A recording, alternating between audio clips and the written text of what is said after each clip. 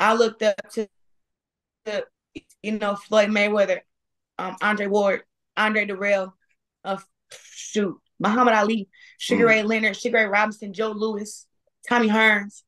I watched those fighters. Um, Roberto Duran, um, Hector Camacho. Mm. Those are guys that I watched coming up. And um, I didn't the first woman fighter I ever looked up was Franchon Crews. That's me nice. being honest. She was the first. I was 13 years old. She was ranked number one in the United States of America at 165. And we had just found out that they were letting women in the Olympics.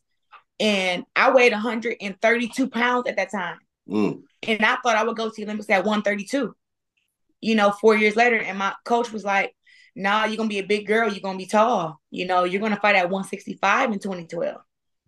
So I didn't believe him. I said, I'm never going to get that big. But since he said 165, I looked up Franchon Crews on up on YouTube because there weren't a lot of women that had videos out, you know, mm-hmm. of them boxing. Mm-hmm. But she was ranked number one in a in the country. So I'm like, she gotta have videos.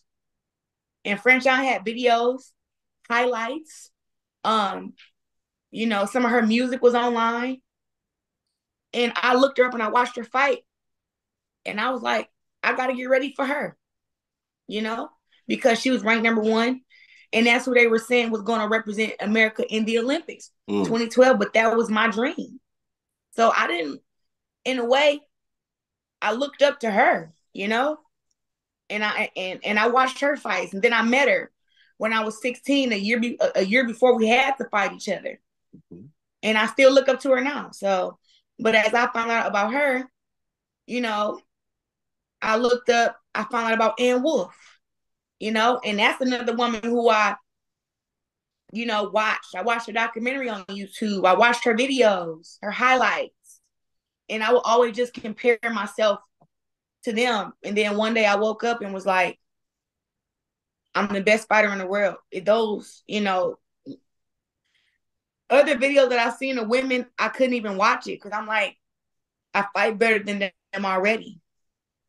But when I watched French Franchon and I watched Ann Wolfe, I said, those are that's the level that I want to get to, you know. So those were two of the women I watched growing up. But but but my dad was a huge Laila Ali fan. Mm. He was huge, and he said, you know, Muhammad Ali had a whole lot of kids, but only his daughter took up after him, and that's what made me want to take after my dad. I thought he was telling me to take after him. Mm-hmm. I was wrong because my dad didn't want me to box